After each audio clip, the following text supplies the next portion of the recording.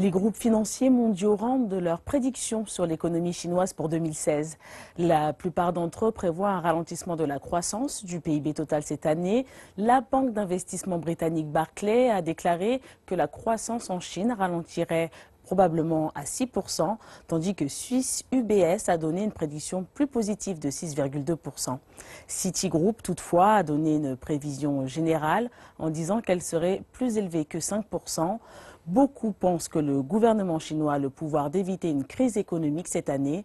Les banques ont également donné des prédictions financières et Barclay pense que d'ici juin, la Banque centrale chinoise réduira les taux d'intérêt de 25 points de base deux fois, tandis que le taux de change du yuan baissera à 6,8 yuan euh, contre un dollar.